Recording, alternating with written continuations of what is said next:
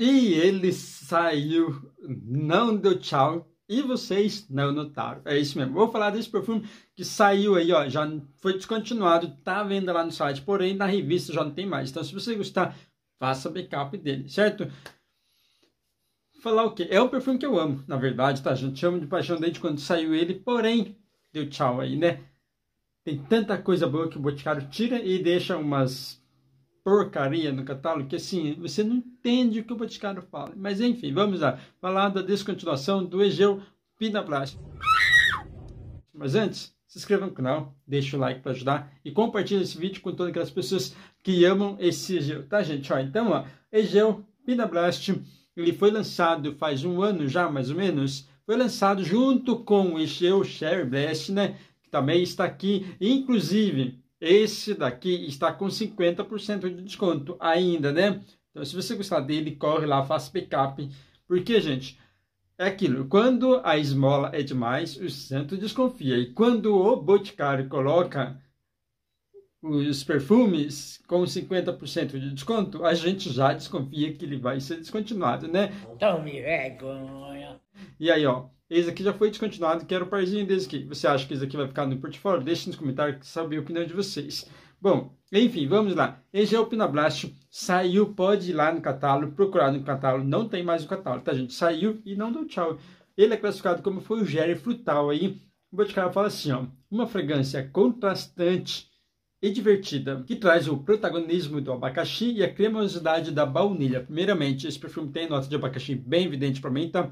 Lógico que não é um Creed Aventus, mas enfim, tem bastante abacaxi aqui. Porém, a baunilha eu não sinto esse doce, doce abaunilhado. Não, tá, gente? Eu sinto ele cremoso, na verdade. Ó, as notas dele. No topo tem maçã, ameixa preta, limão, cardamomo, abacaxi, mandarina, gengibre de Madagascar e melão. No corpo, canela, gerânio, flor de lótus, tomilho, é, notas aquosas, pimenta preta e lavanda. E no fundo, musk, cedro, amber, vanila de Madagascar, cumarina, caramelo e sândalo, tá, gente? Tem um monte de notas aqui que você praticamente não vai sentir, tá? Principalmente essas notas mais pesadas, mais adocicadas, não vai sentir. Porque ele é um perfume fresco, tá? Põe aqui, ó. É um perfume...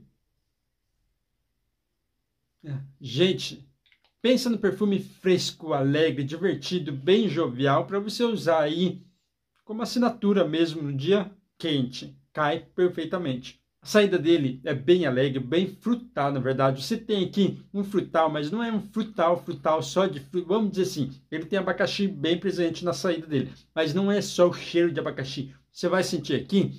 Para mim, como eu falei na, na minha resenha, eu sinto como se fosse um coquetel de abacaxi com um toquinho de limão ali e mais algumas frutas, que deixa ele super fresco, super aromático, super gostoso, super leve, super cara do verão, certo? Delicioso. Por isso que eu falo, o Boticário tira esse perfume tão bom, né? E deixa umas porcaria lá no portfólio que ninguém entende. Rapaz, tá certo isso? É tão bom, mas tão bom. No corpo dele, ele continua esse toque aromático, fresco, o toque de abacaxi continua aí do perfume, porém ele pega uma vibe mais fougere com especiarias, tá? Mas não chega a ficar pesadão, não chega a ficar quente, nada disso. Ele continua com especiarias frescas, tem lavanda aqui, então ele fica esse fougere fresco com toque de especiarias e bem aromático ainda. No fundo ele tem uma base amadeirada, mas não é aquele amadeirado pesadão lá, madeirado bem confortável. Tem um toque de vanilha aqui que vai deixar um adoscadinho, mas não um adoscado pesadão ou gourmand, não, tá gente? É quase zero açúcar ele e bem aromático ainda. Então é um perfume aromático do começo ao fim, certo? Bem frutal, bem alegre, com abacaxi em evidência. Se você gosta de abacaxi, experimente esse então com certeza você vai gostar. Bom, projeção, projeção e fixação dele deixa a desejar um pouco, porém de tão gostoso que ele é, é dá para passar sossegado aí, tá? Projeção, uns 40 minutos mais ou menos, um pouquinho para mais até, e a fixação depois de 5 horas está bem rentinho, pele quase você não vai sentir, certo? Porém, como eu falei, vale a pena porque é um perfume super gostoso e está dentro da proposta dele, da linha Egeu, certo? Então é isso. Gente, deixa nos comentários, quero saber quem vai sentir falta desse bonitão aqui, gostoso, né? Quero saber a opinião de vocês, deixa aqui. Deixa o like no vídeo, curtir. Se ainda não me segue no Instagram, aqui no box de informação. É Cício Santos Underline Oficial, segue lá. E até a próxima então. Tchau.